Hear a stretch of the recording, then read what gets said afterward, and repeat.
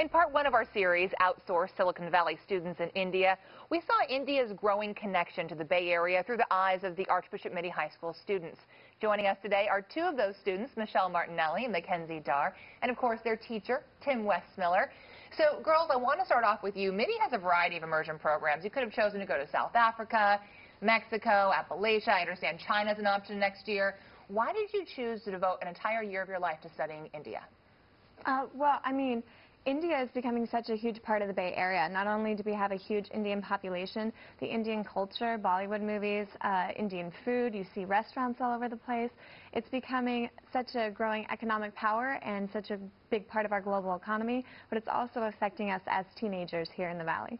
How about you, Mackenzie? Um, for me, I really personally find the culture very interesting.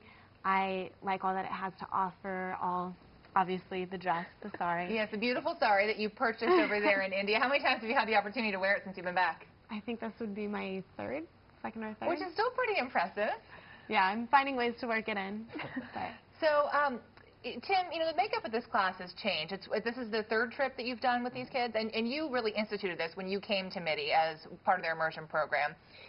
Tell me about what the makeup of the class was like in the beginning as opposed to now. I think in the beginning it was mostly our Indian students who were very interested in it, obviously. Um, but as these students have come back and shared their stories, and I think they were so surprised at the fact that even though they were meeting people that were very different from themselves, socioeconomically, culturally, religiously, that they felt so connected with them. They felt a sense of belonging. The Indian people welcomed them with their open arms. And so they came back to our school and shared that with our other students. And I think it's been really contagious. So can you tell me a little bit about the makeup in terms of numbers? I'm sure you don't have numbers prepared off the top of your head, but uh, what percentage of the class would you say were actual you know, Indian students in the beginning as opposed to now? I would say in the beginning it was almost half, mm -hmm. and probably only about a fifth of our class now is. So really a growing interest in the country and in the culture outside of the Indian community here locally. One thing I thought was really interesting when we were over there, we had the opportunity to spend time with some Indian students kind of very similar to you. We went to a private school in India, uh, and I saw so many similarities. We were talking about iPods and what was on their playlist. What was that like for you guys to see, you know, students so much like you on the other side of the world. I mean, I'm still friends with some of those students on Facebook. Like, we had so much in common, and I mean, we had all these questions for them, but we asked them, like, what do you guys do for fun? And they're like, well, we do the same things you do. We go to the mall, we see movies, and they're really, the more you look at it, the less differences there are.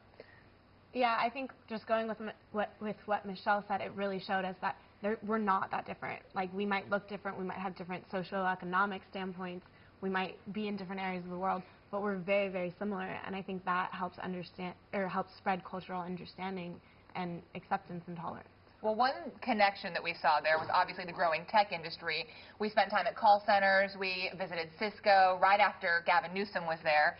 Um, now, outsourcing can be a bit of a controversial topic, especially here in the Bay Area. A lot of people feel like, you know, our jobs are going to India. Tell me about your view of outsourcing and really globalization and how it's been altered or impacted by actually going to India and seeing it firsthand. Well, my view of globalization has definitely changed. Uh, but I, after the trip, I sort of realized more the role that Americans play in it and that I play in it. Uh, we have always had sort of a leadership position in the world, and we know we're leading. The question is, where are we leading to?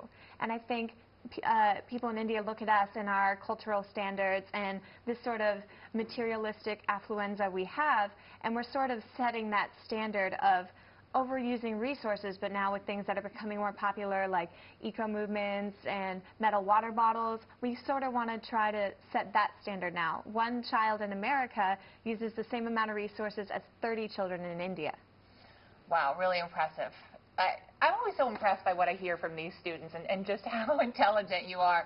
Um, we're going to hear a little bit more from you guys next week with part two of our series. Thank you guys so much for coming in. We will talk a little bit more next week about the children, about the child laborers, uh, and about the wealth gap that Michelle so eloquently talked about in part one of our series. So again, next week, part two, and we'll have another group of students here talking about their experience. In the meantime, back to you.